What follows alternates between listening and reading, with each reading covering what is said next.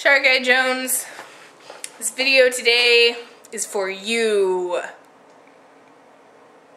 As you can see, we have the makings of a sandwich. So, I want cheese first. Hopefully this cheese is still good. It's been in the fridge for a while. I don't make sandwiches very often, you see. Open it. Opening things one-handed is difficult.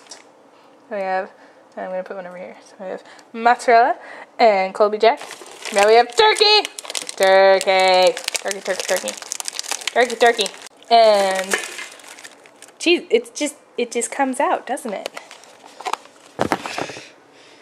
Need to, to cut that off.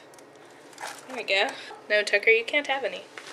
And now we close the sandwich, and we have a sandwich. Tra la la! And over here, what's that you say? It is a pie!